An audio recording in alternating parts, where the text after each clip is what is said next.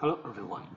Now this video will teach you how to use the new SAS hard drive data recovery adapter to recover the lost data from the SAS hard drives. Now we can check this is one uh, SAS to SATA cable. And this is the popular data recovery hardware, the DFSRP all-in-one data recovery hardware. Because this hardware has just SATA ports and IDE ports. So in order to connect the SAS hard drives, users need to use this special SAS to SATA adapter. Now I have connected this and we can try to enter the software. Now DFL DDP data recovery software.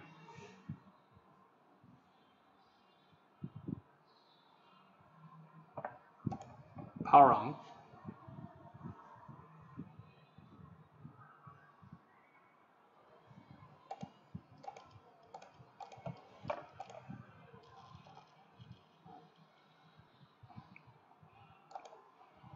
New project. Okay, before we set up new project, we can try to use the hex view, get ID information, and we can see this is the model number, the SN, the firmware version, and we can view sectors. This is the sector 0, partition mark. So the SAS hard drive ID information has been detected here and users can view sectors and we can try to scan the data arrow to see the health status. Click OK and we can see uh, this these are the sector health information. Some kind of uh, denied sectors here detected. Uh, we can click stop and we can try to set up a new project for disk image. Click next. Create VHD create.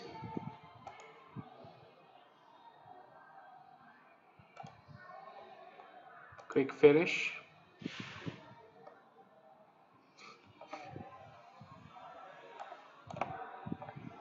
Now, before we start image of this SAS drive, we can try to adjust the settings a little bit to enhance the disk image speed.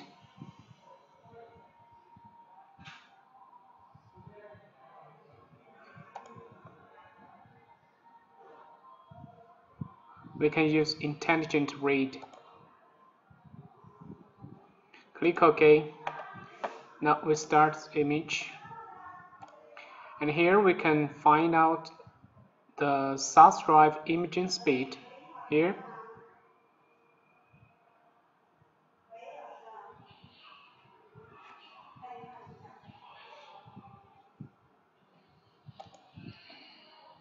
We can try to extract master files directly from the SAS drives too using the DFDDP data recovery software. Now we simply click this file extraction. So this is the partition available within the SAS drive. Now we double click and here we can find out the SAS drive, the lost files, and lost partitions here. So users can simply select the wanted files and right click to save them or recover selected files. So this one is very easy to use this new SAS to SATA adapter to collect like this hardware connection picture and then users can image this SAS drive or extract SNOS files from this SAS drive.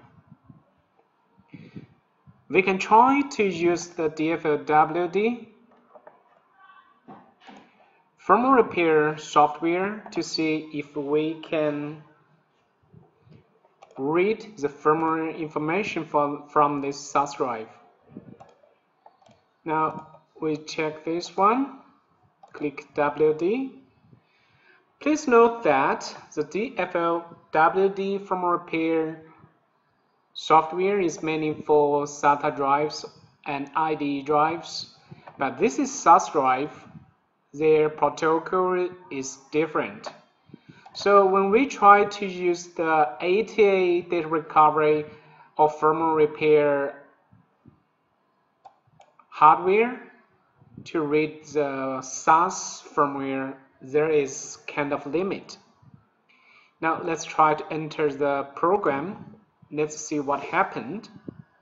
This firmware repair software can detect the hard drive ID information here, but we can see that cannot read the firmware modules. This is because this is SAS drive and this DFLWD firmware repair software is meant for ATA drives, not SAS drives. Anyway, we can try to check the defects, smart, and we can try to view smart, logos. Smart information is obtained successfully.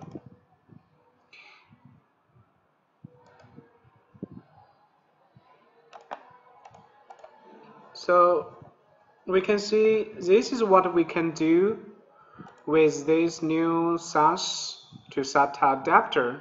This one is very smart and helpful to get SMOS data off the SAS drives. Thank you for watching the video.